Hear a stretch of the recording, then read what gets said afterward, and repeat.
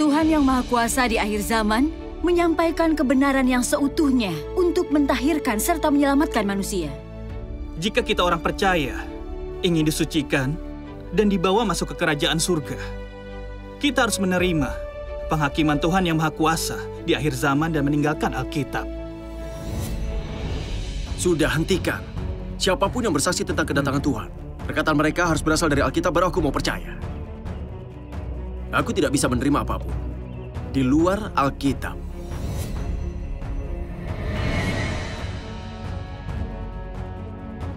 Tuhanku adalah Alkitab.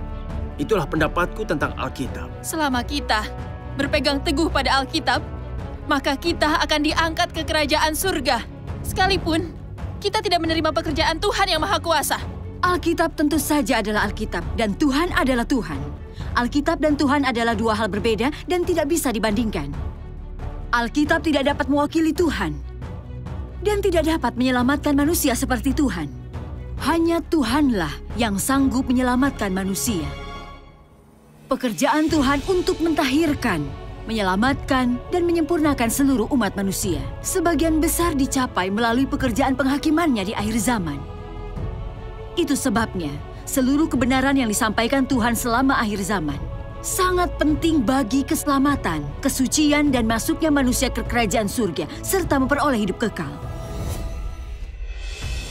Begitu banyak pendeta menentang dan mengutuk Tuhan yang Maha Kuasa, serta menghalangi orang percaya mencari tahu kebenaran dan mempelajari pekerjaan Tuhan yang Maha Kuasa.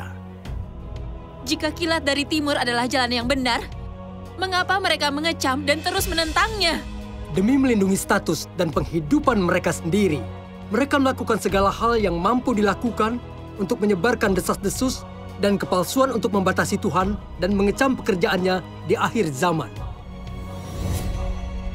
Hati mereka benar-benar hitam. Mereka betul-betul setan pemangsa jiwa.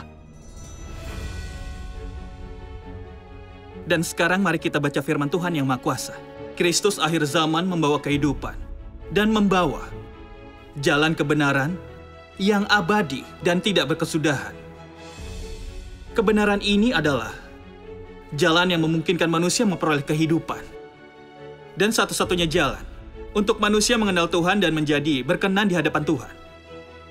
Apabila engkau tidak mencari jalan kehidupan yang disediakan Kristus akhir zaman, engkau tidak akan pernah berkenan di hadapan Yesus dan tidak akan pernah memenuhi syarat untuk memasuki gerbang kerajaan surga. Baik, hati-hati. Sampai nanti. nanti.